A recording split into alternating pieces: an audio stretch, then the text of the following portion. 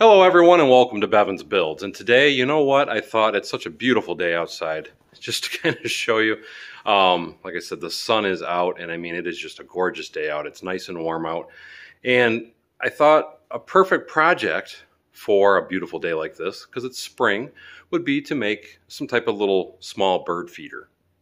To start this project, I got a couple pieces of scrap wood, and I have little bits of scrap wood everywhere, but I found what I'm going to call a premium piece of scrap because this is an old piece of decking um, that was just kind of laying out in the yard, rotting away. It's treated lumber, um, so it's actually really good to have for something that's going to be used outside. But anyway, this is a piece of 1 by 6 decking, and then I also have a piece of particle board, and we're going to be cutting this up for the sides.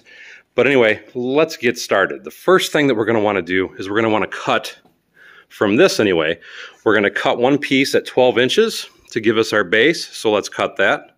Okay, we have our piece of 1 by 6 cut down to 12 inches.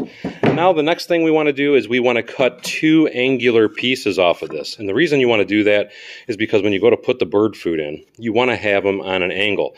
So that way the food will kind of stay in there. And I'll show you what I mean. But first, let's go ahead and cut two triangular pieces. And I'm going to cut these angles at 20 degrees on my wheel.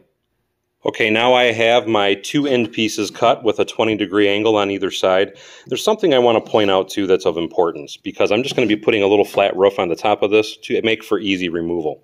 And what, what I'm going to be doing is, as you can see here, at least I'm hoping you can, it's kind of hard to tell with the camera, I wanted these to be the same width as this board because I'm going to be cutting one more board like that for the roof of this. But anyway, now that we have these, let's go ahead and nail this guy together. And now we have those two little guys screwed to that piece of wood. We're going to mm-hmm. make our side pieces in here. And just to show you what I mean again, we just made this, we got our base plate, and now we want two side pieces, but we want a little bit of a gap at the bottom of the side piece, so that way the food can actually come out for the birds to get it. So what we're going to first do, because these angles are actually six inches in length. So what I'm going to do is I'm going to rip a board to five inches. So we have our little gap down here. And we're going to be using this scrap piece of particle board to do that. So let's go ahead and rip this down to two pieces of five inches. And then we'll cut them to length, which the length is going to be 12 inches. Now that I have two of those cut, I'm going to show you what I'm going to physically do is again, I want to keep that gap. I want about a one inch gap right here. So I'm going to take and put one of these boards on either side. And with these, we're going to screw them down real quick. I do want to point out that I did make a mark to show me where my one inch mark is before screwing this totally into place. And now that we have this screwed together, as you can see, and we have our little gap down here, what we're going to do is I'm going to cut one more board for the top to use as the roof. And again, I am trying to keep this as simple as possible, and I'm only using scraps. So what we're going to be doing is we're going to be cutting this to 12 inches in length. As you can see, I already have my mark here. And then we're just going to put two little pieces of wood on the inside of this to hold it into place. I changed up my plan, and here's why. I had a scrap piece of one by two. So I went ahead and cut two pieces of that to put on the edge so the birds can sit here and get at it easily.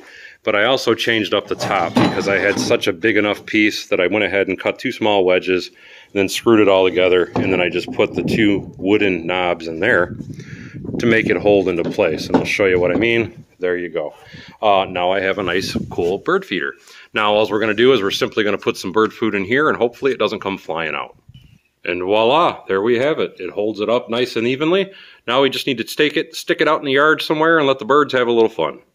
Once you're ready to get it out into the yard and mount it in a tree, simply put a screw on either side of it, take an old metal coat hanger, wrap it around the screw, fill it up with bird seed, and there you go. You have a bird feeder. And from the immortal words of Porky Pig, uh, that's all, folks. anyway, I hope you enjoyed this video. I hope it gave you some ideas on how you can build some things around your house using wood scraps. Because again, I know the price of wood is insanely high right now, and I even don't want to purchase any to do any projects. So, with that being said, as always, thank you for coming to Bevins Builds. Don't forget to like, subscribe, and share below, and hopefully we'll see you next time on Bevins Builds.